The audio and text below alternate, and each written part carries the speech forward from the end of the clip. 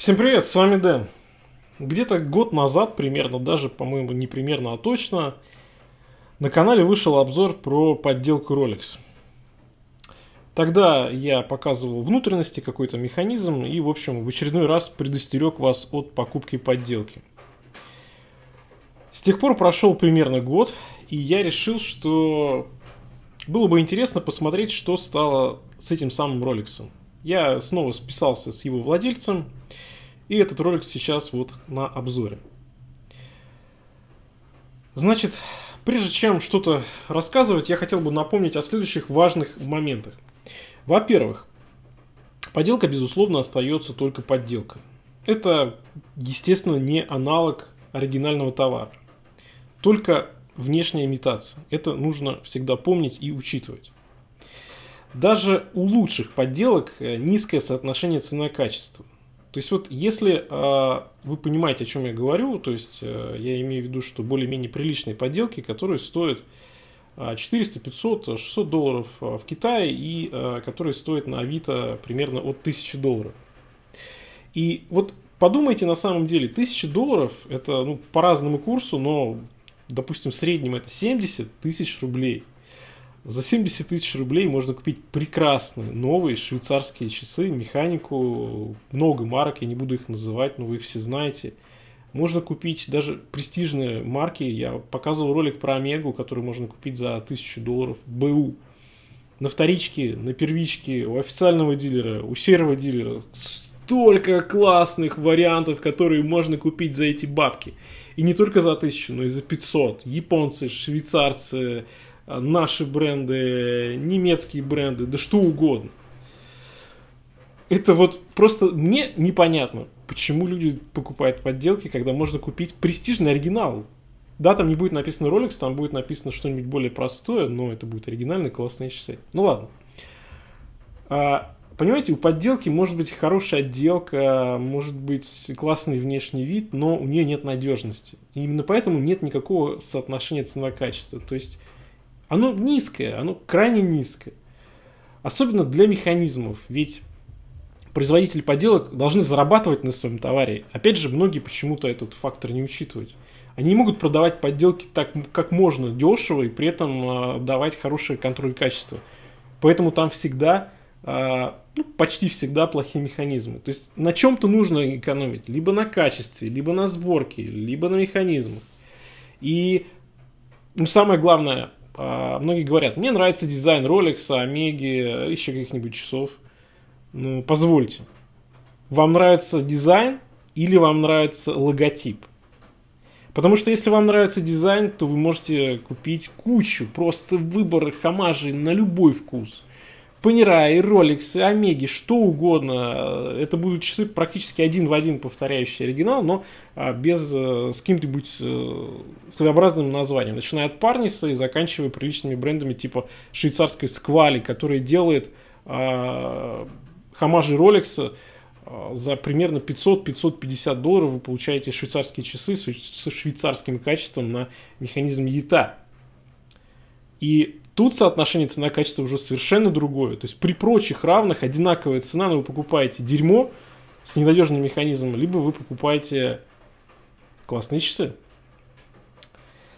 Что касается этого фейка Rolex, то напомню, что год назад я их вскрывал, и, э, собственно, тут, наверное, одно из главных отличий для непрофессионала, по крайней мере, со стороны, как там говорят, с 30 сантиметров, если не задаваться какими-то маленькими нюансами, деталями, про которые мало кто знает, это механизм. То есть механизм там имеет отделку типа дедушкин напильник. А, ну, это видно сразу. И это практически по всем фейкам, за исключением их тем, где вдруг по каким-то причинам а, решили уж поставить швейцарский механизм. А, таких очень мало. Особенно это бывает на кварце на самом деле. А, но такие фейки будут стоить уже дорого, и, в общем-то, редко кто заморачивается, потому что на подделках нужно, опять же, зарабатывать, как я говорил. Так вот, владелец купил этот Rolex. Это на тот момент, это год назад, это был лучший, э, собственно, Rolex из коробки, как можно выразиться. То есть это лучшая китайская подделка, да, которая есть на рынке. Купил он их по тем деньгам, я точно не помню, сколько это, ну, где-то 500 долларов, то есть 30, там, 35 тысяч рублей, да. И это цена хороших часов. 30 тысяч рублей, 500 баксов – это цена хороших, хороших часов. Я уже говорил там про те же сквали, в общем-то, аналог этого самого Rolex. Что с ними произошло за год? Значит, э, следующее. Ну, в плане царапин здесь сталь 904, поэтому, ну, здесь не так много чего э, изгадилось. В принципе, это ожидаемо, потому что, ну, сталь да сталь, да, с ней ничего не произойдет. Безель как был, э, так и остался, но, значит, владелец им, как я понимаю, особо не пользовался. Из минусов что? А, во-первых, стало плохо завинчиваться заводная головка. То есть она не сразу вот а, цепляет, цепляет, соответственно, вот эту насечку, и а, иногда бывают проблемы по словам э, владельца. Да? Что э, главное? Заводная головка, кстати, это важно, потому что это дорого, дорого ремонтировать резьбу. И э, с точки зрения точности, значит, произошло э, две вещи. Первое, это часы встали у него однажды.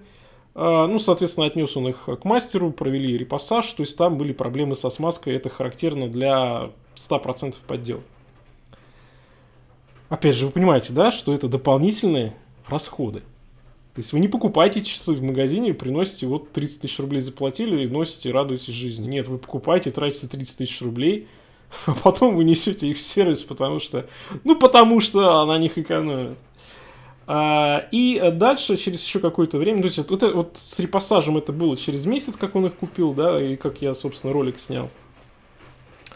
И где-то через еще три месяца они э, стали внутри вдруг э, звук какой-то появился, и там отвалился один из винтиков в механизме. Ну, это тоже частая, в общем-то, болезнь фейков. Особенно это частая болезнь фейков, где э, делают подделки нестандартных механизмов. Ну, то есть, если механизм ЕТА, там, азиаты выпускают свои э, копии, то есть, ЕТА 7750, 20, ну, ну, и так далее, там, да, то а, какие-то оригинальные, типа того же Rolex, они делают а, собственные реплики этих механизмов, которые очень даже ненадежные. Ну, странно было бы, если было бы иначе.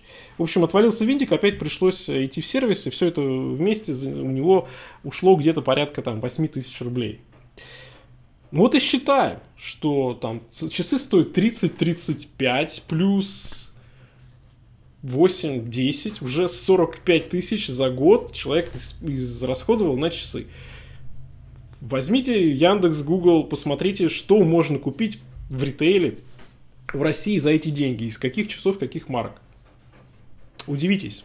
Посмотрите те марки, которые нельзя в России купить. Опять же, там тот же Кристофер Вард, Сквали. Все те же самые ценовые диапазоны, но вы получаете часы, а не какую-то имитацию, которая еще куча геморроя.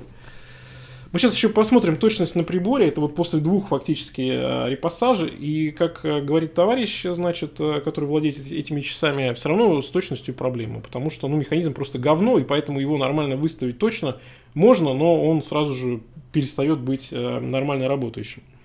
То есть, понимаете, как бы а, внешне они нормальные, внешне это как будто бы Rolex, но внутри этого, знаете, как вот купить какой-нибудь э, старый, какой-нибудь убитый Porsche Cayenne на, э, не знаю, которому там лет 15, у которого двигатель стукнул или там близок к смерти, и вот вроде бы у вас крутая тачка, а вроде бы она и не ездит. Но здесь, по-моему, примерно то же самое. То есть это абсолютно деньги на ветер. То есть часы, в которых нет жизни. Вот они что-то даже не идут. А вот они что-то не идут. Как мы будем измерять на них точность? Так, дайте попробую что-нибудь. Ой. Ай, пошли. Хорошо, хоть точность посмотрим. Так. Часы, а, значит, э, человек говорит, что более-менее их носил. А, поэтому механизм приработанный, значит, и два раза был в сервисе, по точности будет интересно. И знаете, а, а, ну, опять же, в приватном разговоре все-таки человек сказал, что не очень комфортно ему носить Rolex, потому что он чувствует, что это фейк. Ну ладно, это вопрос такой. Кому как. Так, ладно. Значит, давайте. Давайте сейчас мы попробуем, что, что как, что как. Сейчас главное, чтобы все в фокусе было. Давайте. О. О. Ну, поехали, да?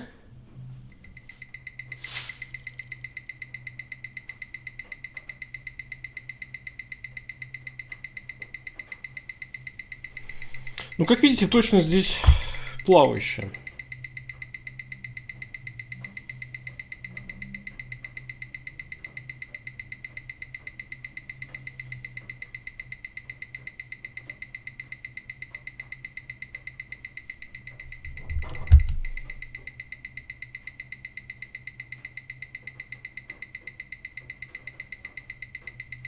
Это после двух походов в мастерскую. Ну, я думаю, здесь вы сами сделаете выводы. За окном у нас гроза. Это прям природа сердится на подделки. Делайте выводы. А, я надеюсь, что мои советы все-таки вам были полезны. И если хотите, то сделаю заключение. Потому что я знаю, что очень много будет комментаторов, которые продают подделки, очень много тех, кто купил подделку, и он, естественно, не может говорить о том, что ну, я зря выкинул 30, 40, 50 тысяч рублей, а то и больше, если на Авито покупал. Я скажу так, на мой взгляд, стоит ли оно того? Конечно же нет. И, собственно, для этого и существует в том числе канал Гитат, потому что здесь очень много классных часов на разный кошелек, на разный вкус, и для этого не обязательно покупать, конечно же, подделку. В общем, пишите ваше мнение обо всем этом, ставьте лайки, если видос понравился. Не забываем, конечно, лучшие на ютубе лайки. Я на этом с вами прощаюсь. Всем пока, с вами был Дэн. Покупайте оригинальные и классные часы.